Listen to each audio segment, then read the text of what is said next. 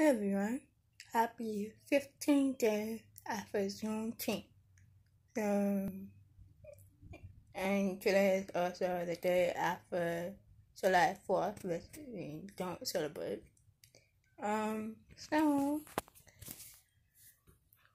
today I'm not going to talk about much. I'm just going to say that yesterday was a good day we hanged out. Um, we didn't do much. We just um had our lunch and then we well, actually we had dinner and then we saw a movie, a Hallmark movie, and that's pretty much what we did all day.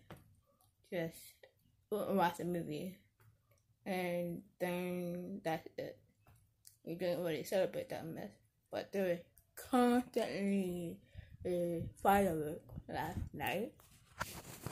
Made it hard for most of us to sleep last night. Um, I just want to know how is your um 15 day uh, from Juneteenth or your 4th of July?